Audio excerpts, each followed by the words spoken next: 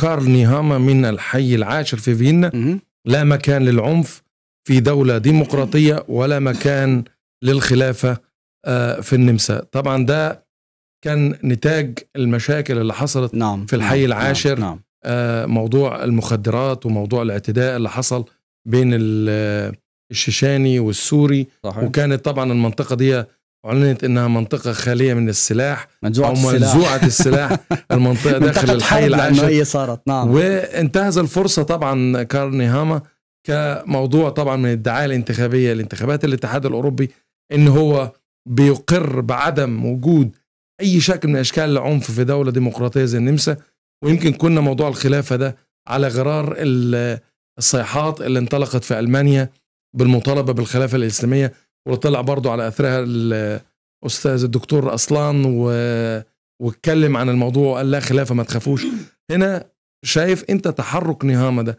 هل ده ممكن يضيف أي نوع من الأمان للشارع النمساوي؟ ابدا ابدا. بصراحة يعني مين طلب بالخلافة؟ هون مين جاب سيرة الخلافة بالنمسا؟ على أي أساس هذا الكلام؟ يعني بصراحة هذا الاصطياد بالماء العكري، يعني يعني يعني هامر أو السيد كارنر اللي كل يوم والتاني كل تصريح أي تصريح لا بقول لك لا مكان للخلاف، مين طالب بالخلافة يا سادة؟ مين اللي عم يحكي بهذا الأمر؟ مين عم بيفكر بهذا الأمر؟ اليوم كل من يقال يقول لك خلافة أنا برأيي لا يجب ترحيله ولا يجب اعتقاله، يجب أخذه إلى مشفى المجانين يا سيدي.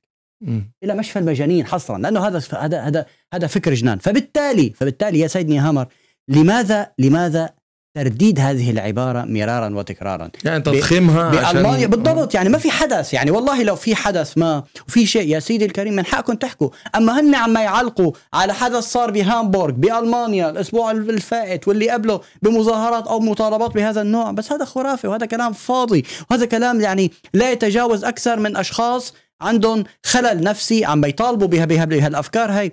فيجي السيد نهامر ويقول لك لا مكان آه، للعنف في دولة الديمقراطية. كلام جميل جدا. لا مكان لا وقال. لك برضه من يسعى إلى فرض ثقافته على البلاد نعم. عليه أن يغادر عليه هنا. أن يغادر. هذا نعم. كلام هذا الكلام يا سيدي الجميع متفق عليه. نعم. من قال أننا لسنا متفقين عليه؟ هذا الكلام الكل يوافق يعني لا أحد يرضى لا أحد يرضى. إحنا ليش جينا على هي البلاد؟ لأنه ببلادنا لا يوجد ديمقراطية لا يوجد تعددية لا يوجد احترام للرأي لا يوجد احترام لحرية الإنسان. إحنا جينا هالبلاد لأنه بنطالب بديمق- بديمقراطيه نطالب بتعدديه نستمتع بالديمقراطية. باحترام الإنسان. أما نعم. نعم. طبعا اللي بده خلافة وخرافة لا يا أخي هذا ياخذوه يزتوه بأقرب مشفى مجانين. لا مستحيل. هذا هذا هذا هذا يستوعبوا أكثر من مشفى مجانين هذا الشخص. فبالتالي لا يجب لا يجب على السيد نهامر وزير الداخلية بصراحة العزف أيضا على هذه الأسطوانة المشروخة والبالية والتي بصراحة لن تفيده. أنا بتصوري بكل حملته الانتخابية.